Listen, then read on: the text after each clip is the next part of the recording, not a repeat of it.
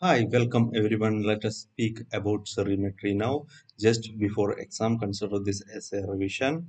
And cerimetry is a redox titration, and here we are using ceric salt as an oxidizing agent.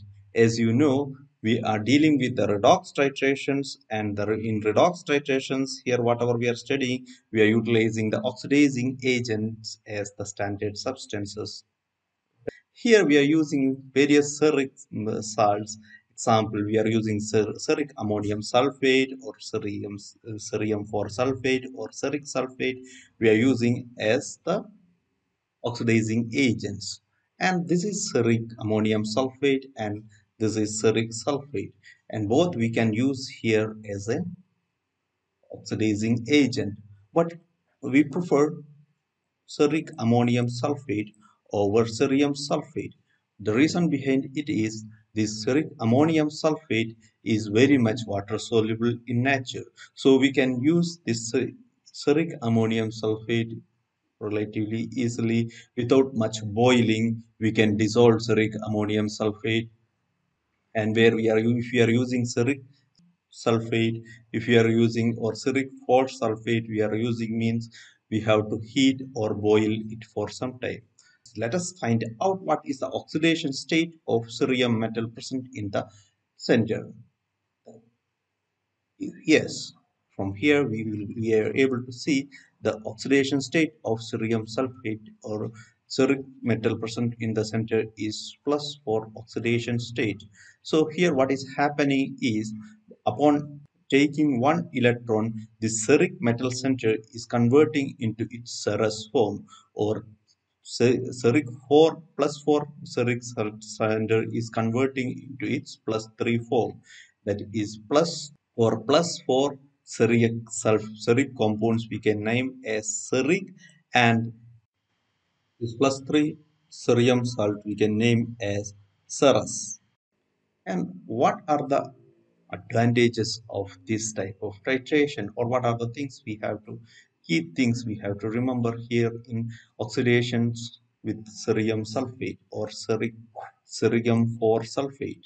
So here we are using this cerium sulfate which is a powerful oxidizing agent and here the reduction potential of cerium uh, 4 sulfate is 1.43 volt in concentrated sulfuric acid or even in the very higher concentration sulfuric acid. This ceric 4 sulfate can be used only in acid solution. The best is in its 0.5 molar or higher concentration of acids. Especially we are using sulfuric acid as the acid here. If you are using the ceric sulfate in neutral solutions, the cerium sulfate will convert into its cerium hydroxide salt and this cerium hydroxide compound will undergo precipitation.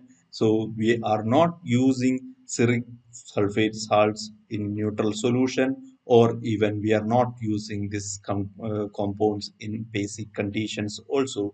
This can lead precipitation as ceric hydroxide or hydrated cerium oxide. It can undergo precipitation. So this cerium sulfate solutions are intensely yellow in color that you remember. So this compound can act as a self indicator also. So what are the let us go to the what are the advantages of this cerium sulfate?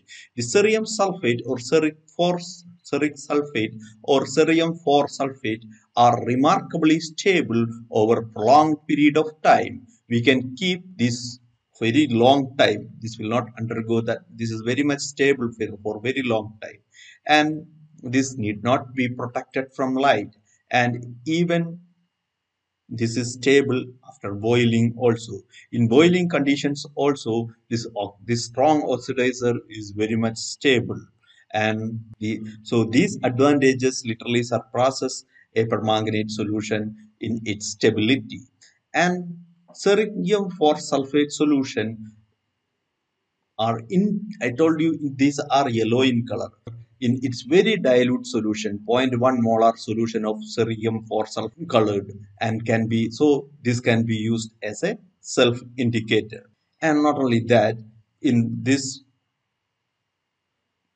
the reaction of cerium salt in acid solutions solutions reduce as a reducing agent are very simple because it is undergoing only one electron oxidation. So cerimetry is having the advantage because permanganate whatever we have seen there will be several oxidation products will be there whenever unexpected oxidation products are uh, will be there in there will be unexpected oxidation products in the permanganometry and HCl cannot be used here in cerium sulfate titrations because if you are heating HCl with cerium sulfate this that will liberate chlorine.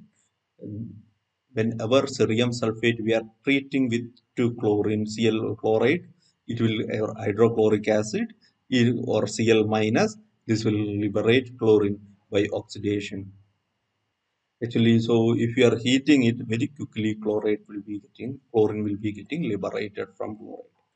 So this is the simple titration that i have mentioned here where we are using the standard cerium ceric 4 sulfate solution and that we are directly titrating in acid solutions. We are titrating actually this acid medium we are providing here itself we are making the cerium salt in H2SO4 so this because this reaction is happening in highly in acid medium only. And the redox indicator this uh, we can utilize here. This compound i told this compound itself is a yellow in color and they can use as a self indicator also. And apart from that in case certain situations are there where we cannot use this as a self indicator that time we can use ferroin dimethyl ferroin and n phenylanthranilic acid as a redox indicator.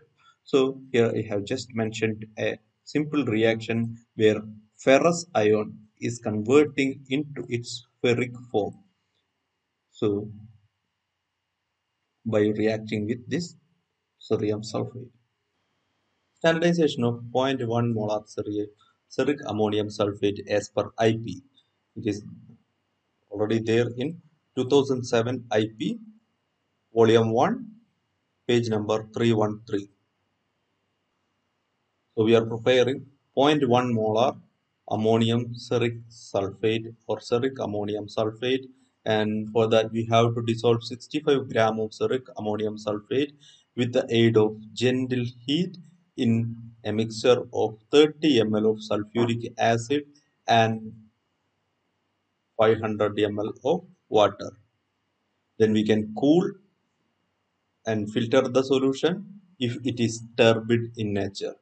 And we can again dilute and make up the volume into 1000 ml because as I told you earlier this compound is not a primary standard. We have to standardize this ceric ammonium sulfate with other primary standard solutions such as arsenic trioxide. We have to do the standardization.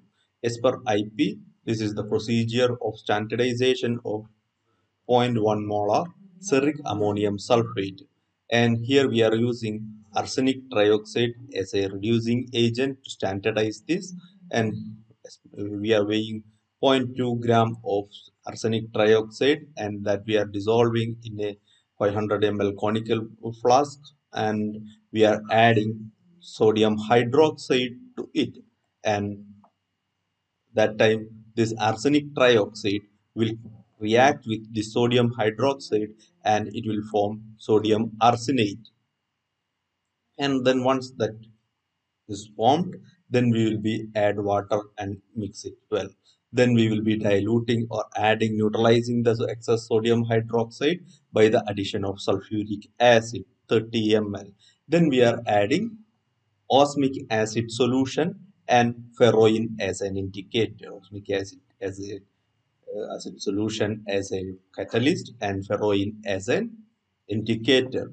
And we are slowly titrating this uh, along with from burette, we are just titrating this with ceric ammonium sulfate solution. So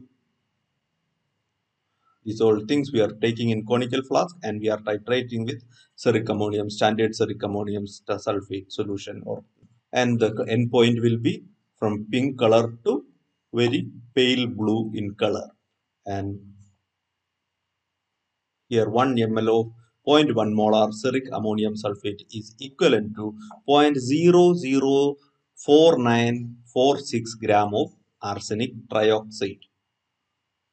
So this is the basic principle involved here.